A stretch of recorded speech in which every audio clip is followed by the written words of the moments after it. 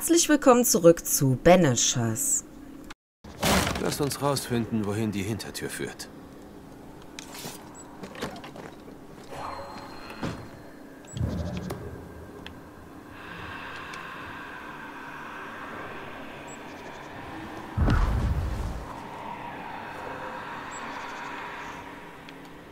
Dann komm mit, Schätzelein. Wir haben einer Spur zu folgen.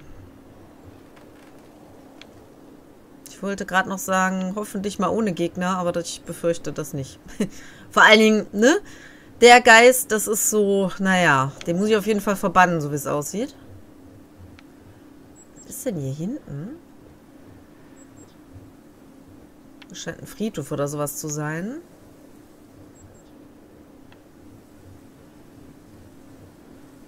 Hm. War das das, wo ich eben schon war? Ich bin mir nicht so sicher.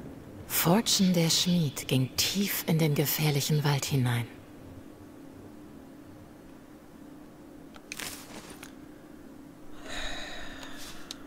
Die Heimgesuchten machen oft merkwürdige Dinge. Vielleicht wollte der Geist ihn töten. Hm. Also ich denke nicht unbedingt, dass er lügt. Dafür war er auch viel zu nervös eigentlich.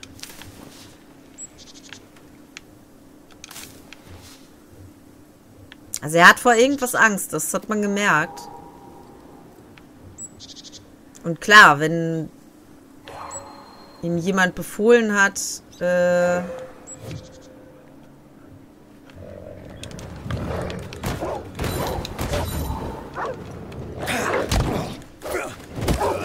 Wie gefällt dir das? Ich stehe bereit. ich weiß.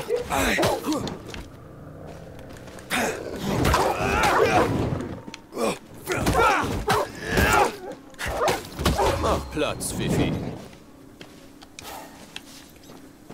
So, da können wir hoch, theoretisch. Was ist hier?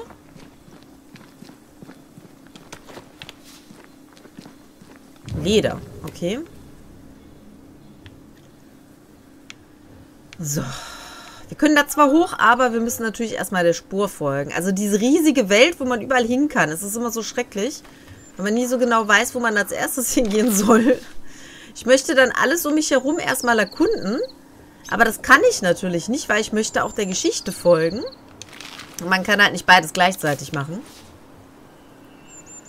Das ist das Problem bei der ganzen Sache. Was ist das denn hier schon wieder? Ach du Schande. Da links sind F Fäden zum Springen.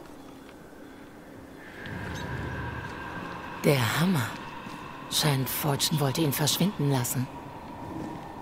Der Hammer bindet den Geist. Jetzt muss ich ihn nur noch kriegen, ohne mir dabei den Hals zu brechen. Ja, das wäre wirklich eine Schande. Wir müssen einen Weg auf die andere Seite finden. Ja.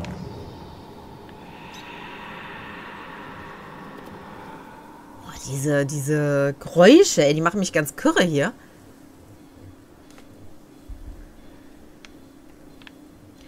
Da kann man hoch.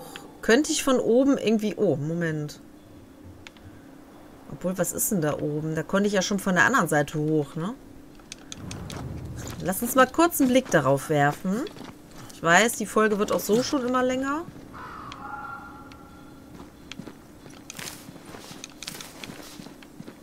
Da ist nichts. Na gut, dann können wir hier erstmal wieder runter.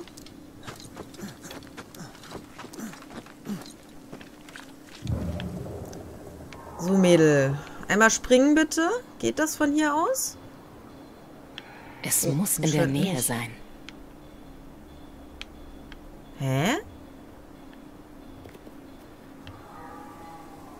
Von oben kann ich nicht springen, oder? Weil von hier aus wollte sie ja eben nicht springen. Obwohl das hier halt so laut ist.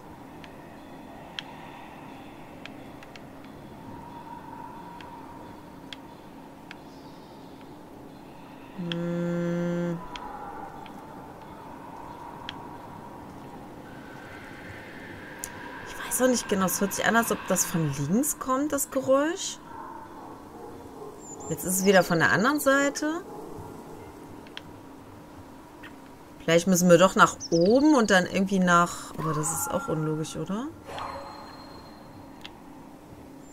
Was, was, was? Ist doch gerade was Blaues angegangen. Jetzt geht's nicht mehr an, oder was? Ja, super. Hm.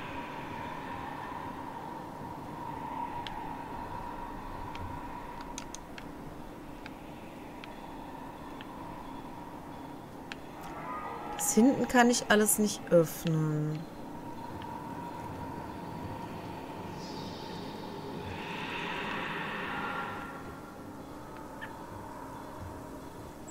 Wie habe ich das Gefühl, das ist hier dieser Baum, wo die ganze Zeit die Stimmen herkommen? Also, ich gucke jetzt noch ein letztes Mal hier unten und dann gehe ich tatsächlich mit ihr mal hoch und da rum. Verstehe nicht, warum das hier nicht funktioniert. Das ist so groß.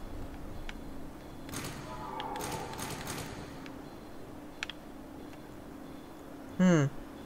Oh. Dreimal dran vorbeigelaufen und nicht gesehen. Gut, dass ich noch mal hier war.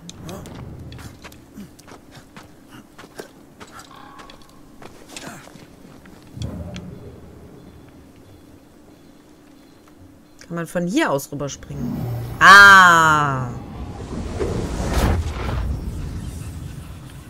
Sehr gut.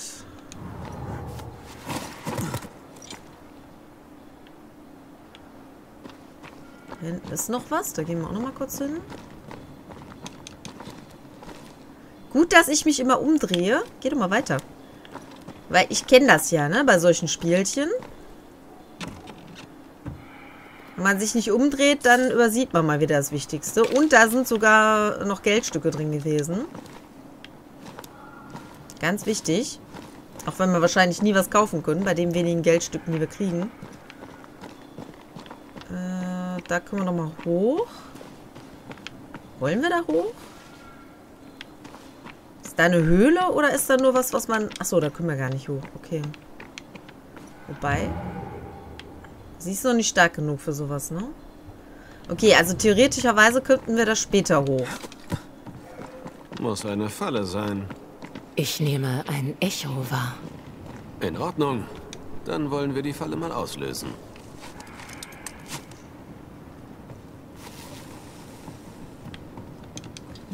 Ja, weil man ja auch sonst nichts anderes zu tun hat. Oh je. Ähm. Hier oben kann ich nichts mehr nehmen, ne? Du hast recht. Die Arbeit ruft.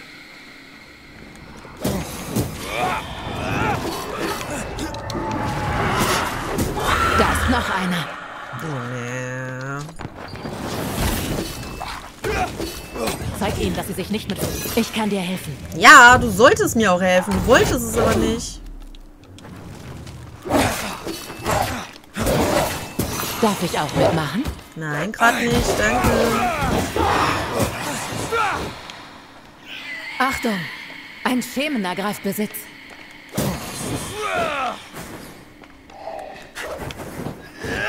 Hallo. Greif dir nochmal an und schlag mich nur um dich.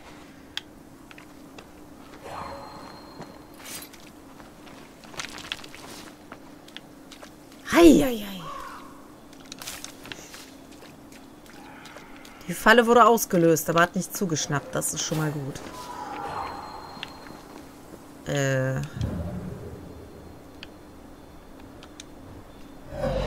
Das reicht, Nelly. Ich habe dich gewarnt. Ich habe dich gewarnt, dass das wieder passieren würde.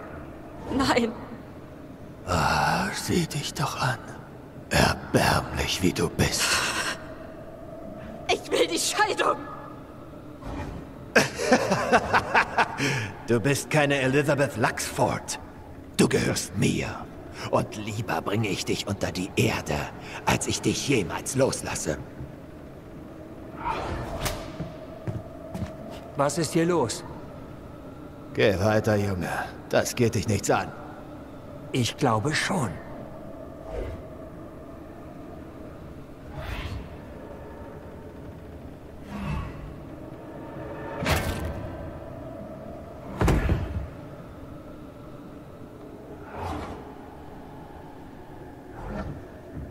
Was machen wir jetzt?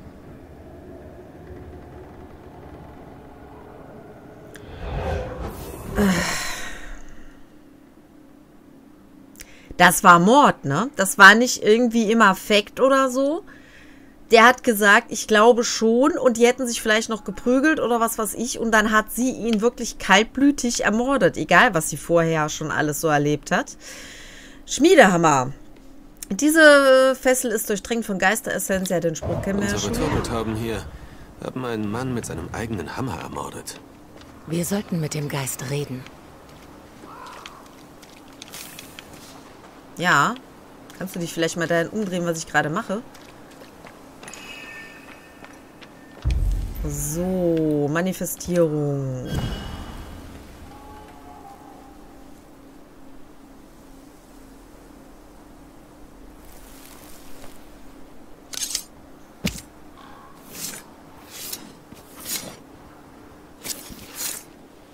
Klün mir's, schau Gott düden.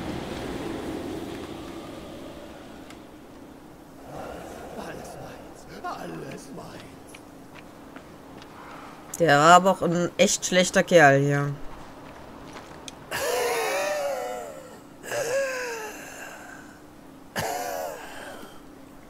Wir sind die Verbanner Antea Duarte und Red McGrath. Wessen Geist bist du?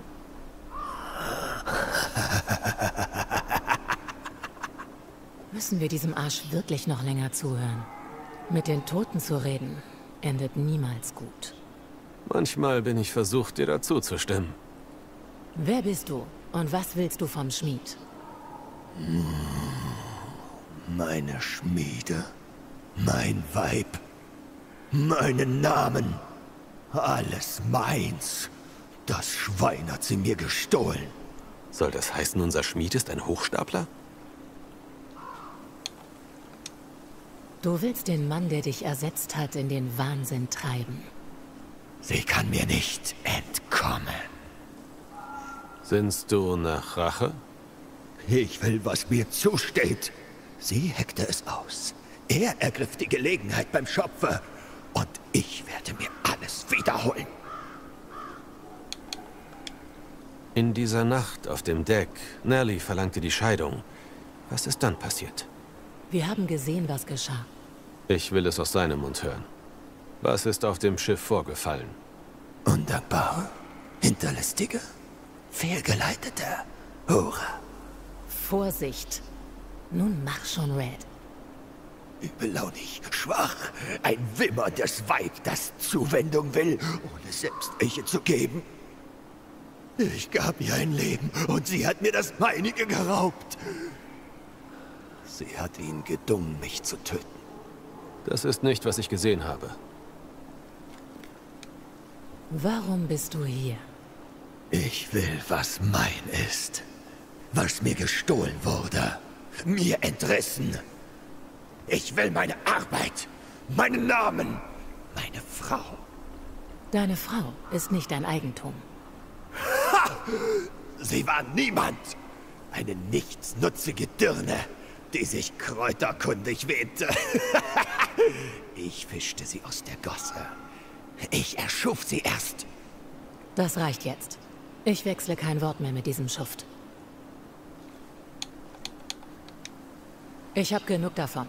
Lass uns gehen. Jetzt Ja. wissen wir, warum Fortune Heaton gestorben ist.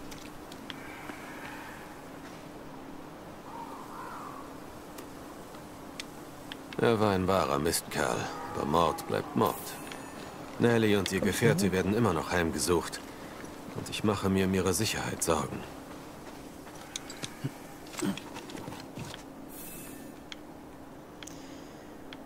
Tja. Wie kommen wir denn jetzt hier wieder raus? Hier kann ich auch noch... Sehr schön. Das hatte ich eben übersehen. Achso, hier können wir... Kann sie auch wieder zurückspringen da? Das ist die große Frage. Äh, optional am Unterschlupf der hochgelegenen Höhle rasten. Am Unterschlupf? Also erstens, hier ist jetzt schon wieder so ein, so ein blinkendes Ding. Und zweitens, was für ein Unterschlupf. Das ist immer noch zu. Hier kommen wir nicht hoch.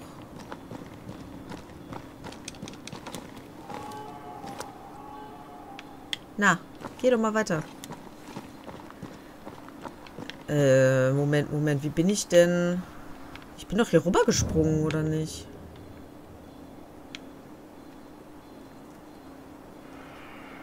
Ach so. Ach, ich bin auch blöd.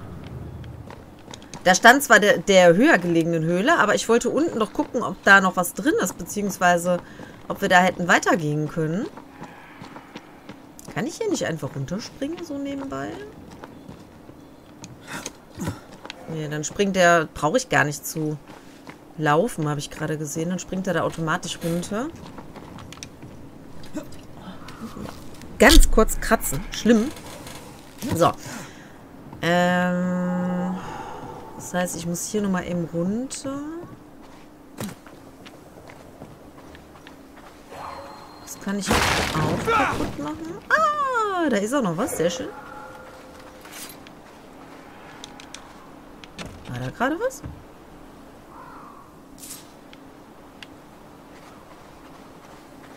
Nee, ne?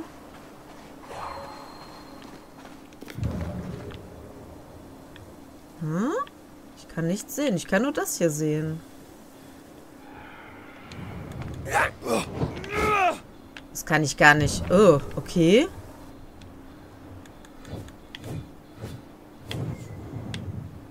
Es wäre nur schön, wenn man mir sagen könnte, ob ich hier irgendwas machen kann. Anscheinend kann ich da gar nichts machen. Das ist mit Eisen zugemacht. Da ist eine Kiste auf jeden Fall hinter. Hm. Was ist denn hier? Oder geht's hier zur Höhle eventuell? Was sie gemeint haben. Ich würde auch gerne wissen... Nein, nein, nein, nein. Würde auch gerne wissen, ob man da irgendwie hinkommt. Ich darf ja nicht ins Wasser. Oh, ich will wissen, was das ist, ganz ehrlich. Da ist noch eine Kiste. Da geht's höher. Nehmen wir erstmal die Kiste.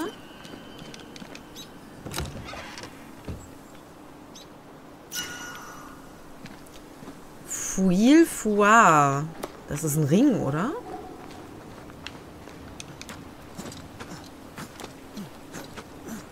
So, das ist auf jeden Fall höher gelegen. Ob jetzt hier ein Unterschlupf ist, beziehungsweise eine Höhle, kann ich leider nicht sagen.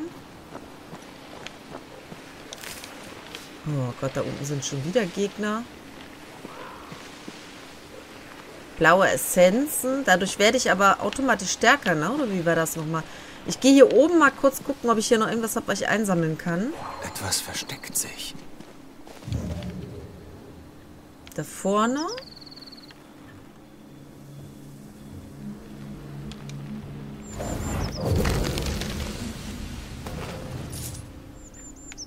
Okay. Ah. Manchmal ist es doch gut, wenn man nochmal gucken geht zwischendurch. Ich habe nur ehrlich gesagt ein bisschen Panik wegen denen hier vorne. Das ist wieder ein neues Fragezeichen. Ich will aber jetzt keine neue Quest hier machen. Ich will eigentlich wieder zurück.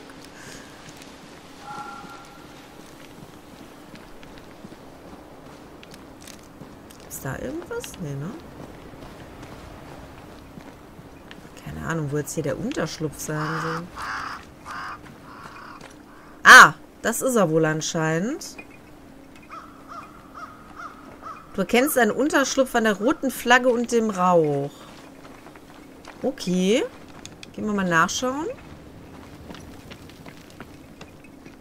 Wenn das der ist, dann muss ich auf jeden Fall mir das irgendwie versuchen zu merken und dann entsprechend wieder Ein zurückkommen. Unterschlupf mit einem feuchten, kratzigen Strohbett. So wie ich es mag.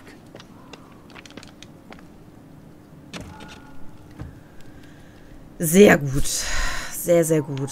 Nach langen, langen... Äh, nach langer, langer Suche habe ich es dann doch nochmal gefunden.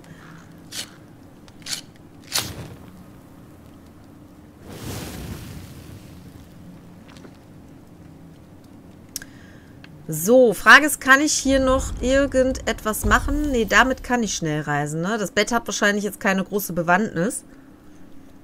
Hm, Inventar, kann ich irgendwas verändern noch? Nee, sieht nicht so aus. Ja, dann reisen wir doch mal eben schnell. Wir müssen Hammer und Zange zur Schmiede zurückkehren, genau. Dein, dein können wir nicht direkt, ne? Dein können wir aber reisen.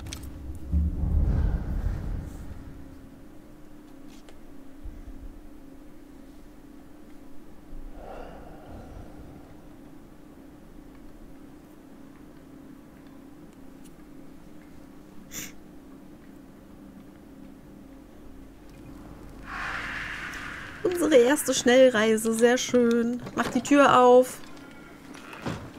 Los, wir müssen einen Geist verbannen. Äh, Moment. Hier war die Schmiede, ne? Andererseits kann ich ihn jetzt überhaupt von ich hier glaube, aus verbannen? Fortunes Geist ist hier.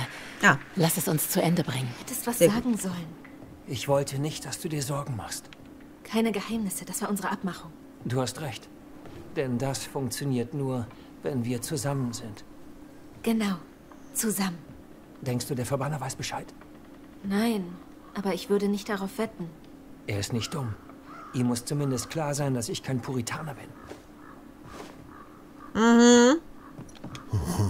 Meins, meins, meins, alles meins.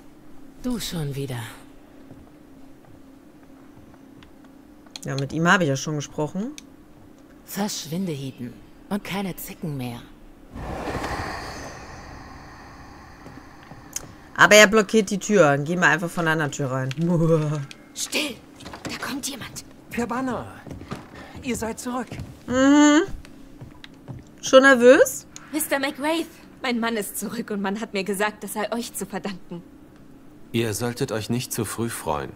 Ich kenne die Wahrheit. Euer Geheimnis ist kein Geheimnis mehr.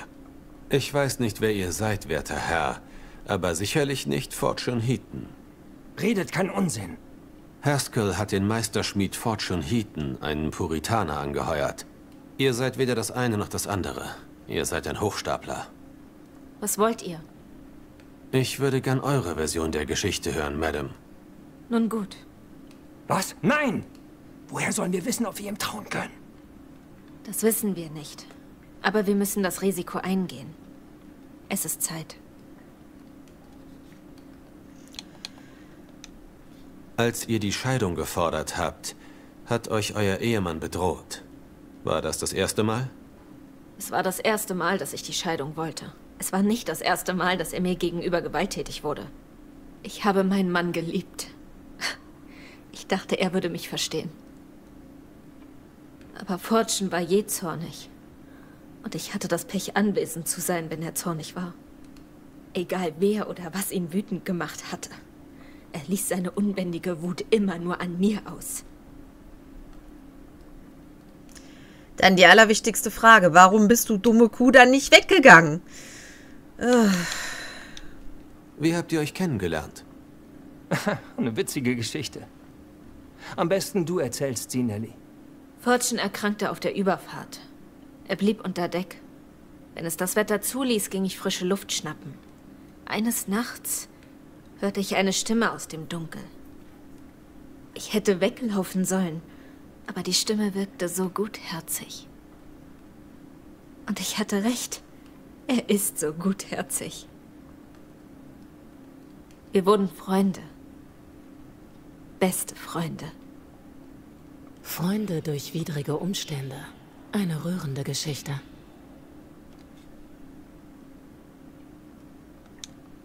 Auf der Überfahrt von England ist etwas passiert.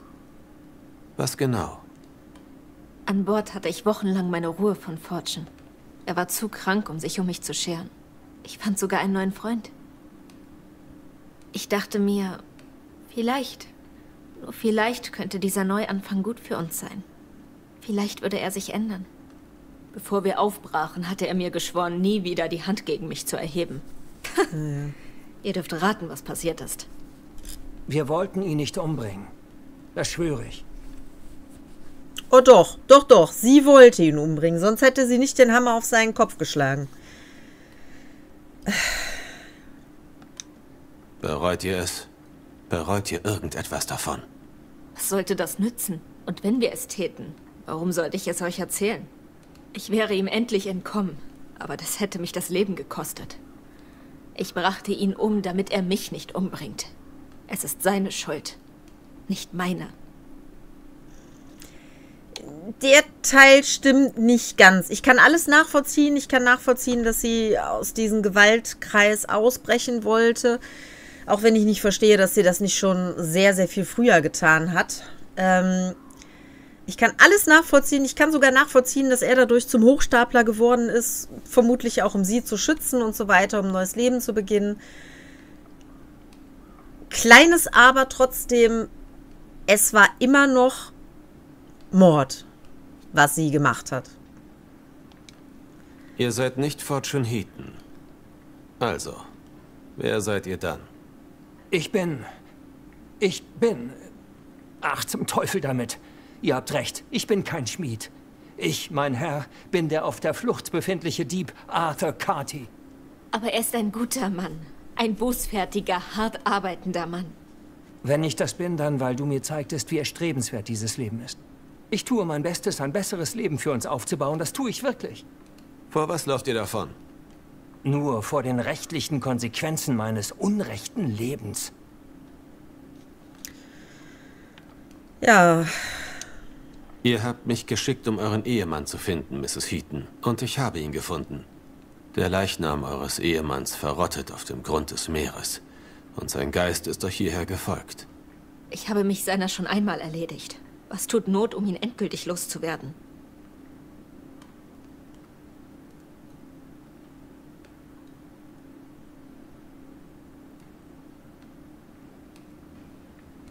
ja. Da die Welt nun mal leider nicht immer nur schwarz und weiß ist. Ich meine, sie ist eine Mörderin. Da kann man nichts dran rütteln. Allerdings muss man auch die äußeren Umstände ähm, sehen, bin ich ganz ehrlich. Ähm, gut, er ist ein kleiner Dieb, sage ich mal. Ist jetzt noch zum Hochstapler geworden, weil er sie schützen wollte und sich vermutlich dann auch. Ihm kann ich jetzt eigentlich nicht so einen Vorwurf machen, zumal er auch nicht den Hammer geführt hat. Also sie hat ja den Hammer geführt. Äh, ich bin ganz ehrlich, der in der Mitte ist ein totales Arschloch, deswegen werde ich den auf jeden Fall verbannen. Fortune Heaton, lebendig oder tot, du bist ein zorniger Mann. Zeit zu gehen. Ich machte sie zu dem, was sie ist. Sie ist mein. Ich baute alles auf und sie haben es mir geraubt. Und nun gehen dein Lebenswerk und dein Name auf Arthur Carty über, während du in Vergessenheit gerätst. Nelly wird die Schmiede führen und eine bessere Version von Fortune Heaton wird unsere Welt beglücken. Ich bin Fortune Heaton. Ich war es und werde es immer sein. Jetzt nicht mehr. Hinfort mit dir. Ich verbanne euch!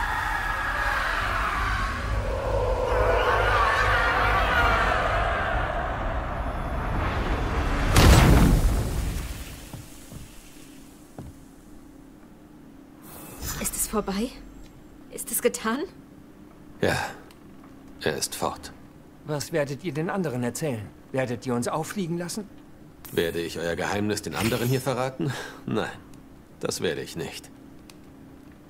Ich dachte, ich muss mich dafür auch nochmal entscheiden. Können wir nochmal mit denen sprechen? Ihr habt meine ewige Dankbarkeit, mein Herr. Vielen Dank. Habt Dank, Mr. McGrath. Danke, dass ihr uns Hoffnung gegeben habt. Ja, okay. Dann würde ich sagen, äh, ist das Ganze ja doch irgendwie noch so halbwegs erfolgreich ausgegangen. Ich meine, es sind keine schlechten Menschen, das muss man auch äh, dazu sagen. Sie hat auch nicht dieses kaltblütige, schwarze Herz, sage ich jetzt mal, einer kaltblütigen Mörderin. Ja, sie hat einen Mord begangen.